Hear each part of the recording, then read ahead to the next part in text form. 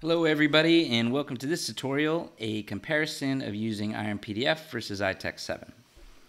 So let's start with iText 7. Here are the required libraries installed for using iText 7 in our project. We've installed the iText 7 library and its add-on iText 7 uh, for converting HTML to PDF conveniently. So let's close the NuGet bar and move to the code file. So here at first I import the iText 7 HTML to PDF library for use in the code file. After that I use the file stream object to open the HTML file by giving its path as a parameter. So let's see what's in the HTML file exactly.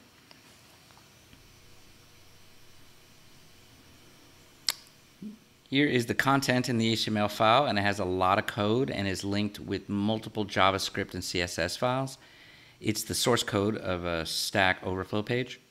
So let's run the HTML file and see exactly what it looks like. Here's the output of the HTML file. It has a lot of content um, on the web page, such as search fields, multiple button headings, and a lot more. So after selecting the HTML file, I create the file with the output file name, and I set the file mode to create. After that, I set the converter properties and use the function convert to PDF.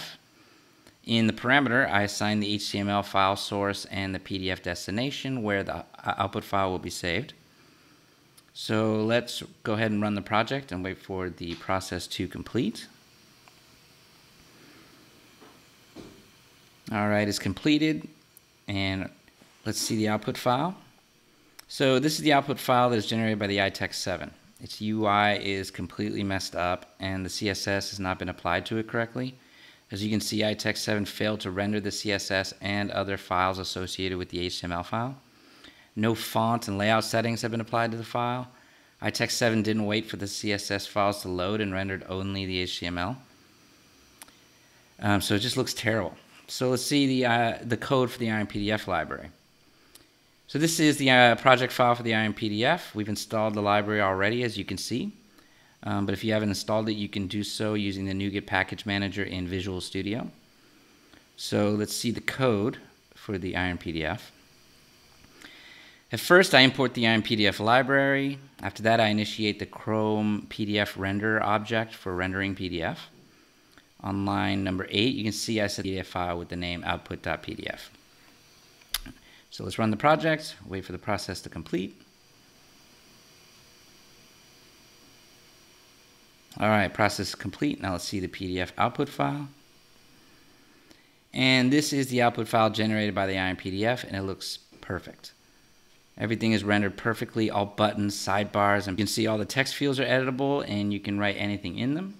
JavaScript is loaded perfectly and works very well. So in comparison to iText 7, IronPDF did an amazing job. Uh, you can see IT, iText 7 failed to load the CSS files and other associated files, but IronPDF loads and prints exactly what was required.